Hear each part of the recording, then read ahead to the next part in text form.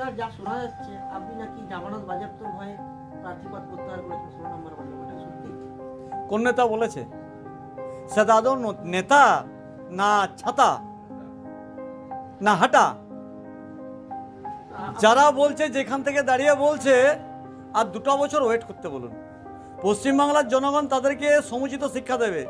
আমি জীবনে কোনোদিন হারতে শিখিনি আজও হারিনি আগামী দিনেও হারবো না। আর যারা আপনাদেরকে বলছে, তাদেরকে ডেকে নিয়ে আসবেন আমার সামনে। আমি তার দিকে ডেজিগনেশনটা সম্বন্ধে ভালো করে সচেতন করে দেবো। I am a member of West Bengal legislative assembly আমি সারা পশ্চিমবাংলার জনগণের একজন নির্বাচিত জনপ্রতিনিধি। একটা ছোট্ট পৌর নির্বাচন, পঞ্চায়েত নির্বাচন আমার শোভা পায় না। প্রথম, এবং আমি জায়গা ছাড়লে আরেকজন জায়গা সেখানে ফিরে আসবে। একজনকে একটা জায়গা আগলে আমরা পরিবার কেন্দ্রিক দল নই। আমরা একক কেন্দ্রিক ক্ষমতা পুঞ্জীভূত করে আমরা দল নই। আমরা একটা স্থান আমরা দখল করে থাকব, আরেকজনকে আরেকটা স্থানে সেখানে করে দেবো, জনগণের কাজ করার জন্য। তাদেরকে বলুন, তারা যেমন পরিবারতন্ত্র দল করে, পিসি ভাইপোর দল এটা নয়। এটা আমাদের একজন বুথ সভাপতিও প্রধানমন্ত্রী হতে পারেন। আবার একজন প্রধানমন্ত্রী তিনিও বুথ সভাপতি গিয়ে কাজ করতে পারেন। এটাই হচ্ছে বিজেপি।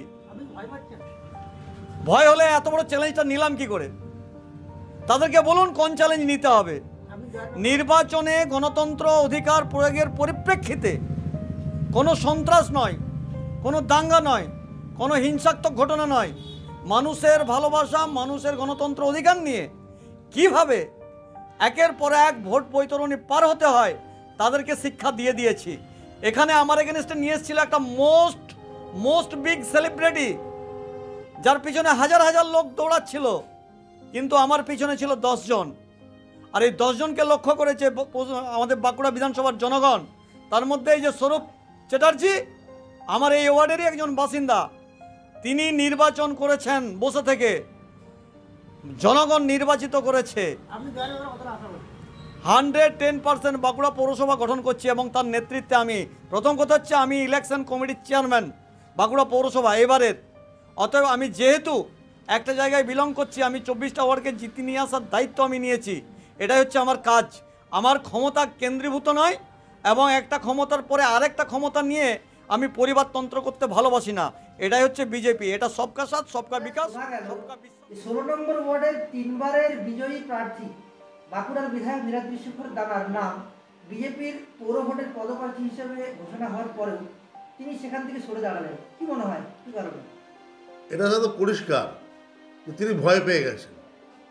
ষোলো নম্বর ওয়ার্ডে মানুষ তাকে প্রত্যাখ্যান করেছেন, মানুষ তাকে চাইছে না। কারণ পদ্মের বীজ আর শুকিয়ে গেছে। ভারতবর্ষের মানুষ বিজেপিকে চাইছে না পশ্চিমবাংলা মানুষ চাইছে না, বাঁকুড়া পৌরসভা মানুষও বিজেপিকে চাইছে না। তাই নীলেশ দ্বারা বুঝে গেছে যে আমি ওয়ার্ডে হেরে যাব, তাই তিনি তার নাম থাকা সত্ত্বেও ভয়ে সরে গেছে। অন্য কোনো ব্যাপার নয়। তিনি ভয় পেয়ে গেছে। আমি বলছি জোর গলায় উনি ভোটে দাঁড়ালে জগন্নাথ বাজেয়াপ্ত করে দিতাম। ওই ষোলো নম্বর ওয়ার্ডে ওনার হোমওয়ার্ড তো জগন্নাথ বাজেয়াপ্ত হতো। আমি তো দেখিয়ে দিয়েছিলাম বিধানসভাতে। আমার জেলা পরিষদের আমাকে যে দায়িত্ব দিয়েছিল দল, আমি ওখানে চার হাজার ভোটে লিড দিয়েছিলাম। এবং আমার ওয়ার্ডও পাঁচশো ভোটে লিড ছিল।